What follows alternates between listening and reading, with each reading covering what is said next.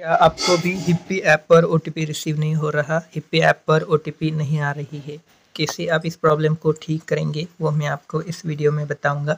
इस वीडियो को पूरा एंड तक ज़रूर देखिए। हिप्पी ऐप में ओटीपी रिसीव ना होने की इशू या फिर प्रॉब्लम काफ़ी सारे लोगों को है तो लास्ट तक इस वीडियो को देखिए और वीडियो को लाइक और सब्सक्राइब ज़रूर कर ली हिप्पी ऐप को ओटीपी ना आने के लिए अगर आपको ये प्रॉब्लम है तो आपको सबसे पहले अपने ऐप को बंद करना है। उसके बाद आपको चले जाना है सेटिंग के अंदर, या फिर आप अपने हिप्पे ऐप के ऊपर कुछ इस प्रकार से लॉन्ग टैप करके रखिए, और उसके बाद ऐप इन्फो में जाइए। या फिर सेटिंग से भी आप डायरेक्टली ऐप्स में जाकर ऐप इन्फो खोलेंगे। उसके बाद आपको जाना है स्टोरेज के ऑप्शन पर, और इसके बाद हमें क्लियर डेटा और क्लियर कैच इसका कर देना है। अब इसके तो बाद आपको जो है वापस से अपने ऐप को खोलना है।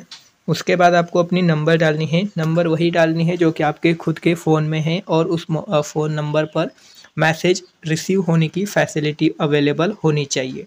बस इतना काम करना है और उसके बाद आपको मैसेज सेंड कर देनी है। अब यहाँ पे आपको हिप्पी के द्वारा मैसेज सक्सेसफुली भेजी जाएगी। यहाँ पे कोई भी दिक्कत नहीं आएगी। उम्मीद है आप लोगों को जानकारी समझ में आ रही होगी। अगर फिर भी प्रॉब्लम है, हिप्पी ऐप के अंदर ओटीपी नहीं आ रही तो आप क्या कीजिए, हिप्पी ऐप को अनइंस्टॉल कर दीजिए और उसके बाद फिर से प्ले स्टोर में जाकर एक और बार आप हिप्पी ऐप को इंस्टॉल कीजिए। अगेन आपको ये प्रोसेस करना है। उससे पहले अपने फ़ोन को रिस्टार्ट करना ना भूले। फ़ोन को बंद करके चालू कीजिए, जिससे कि प्रॉब्लम आपकी ज़रूर ठीक हो जाएगी।